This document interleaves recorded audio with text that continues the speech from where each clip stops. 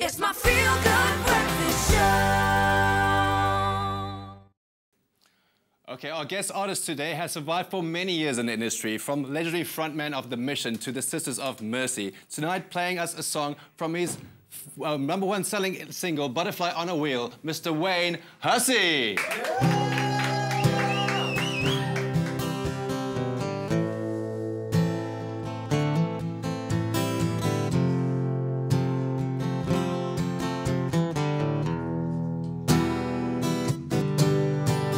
Silver and gold,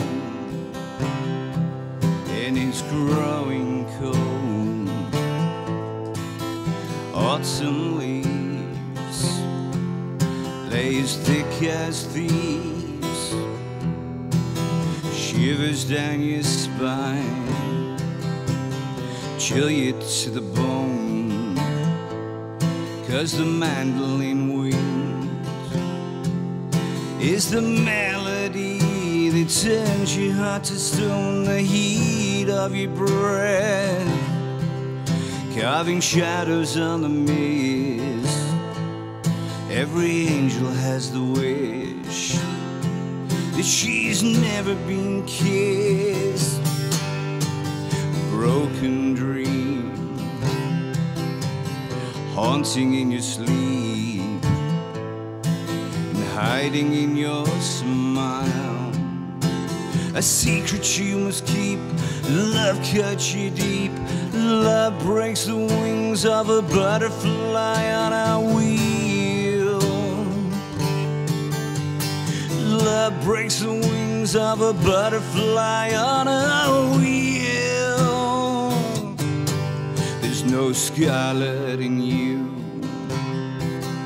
Lay your veil down for me.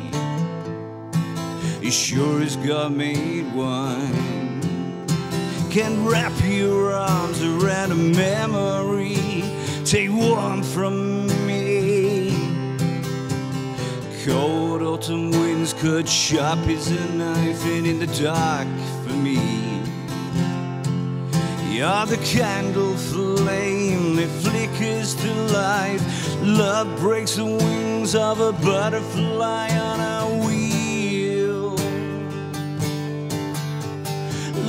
Breaks the wings of a butterfly on a wheel. Love breaks the wings of a butterfly on a wheel. Love breaks the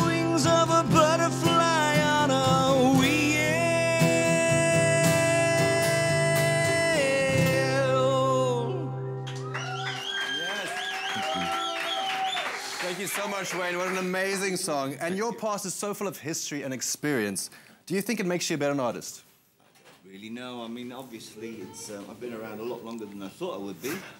Um, I never envisaged being, you know, back back here in South Africa. You know, 20 years after the first time I was here. But I, yeah, I mean, I think with. Um, I'd like to think that with with age and experience comes wisdom, but I'm I'm not really sure about that.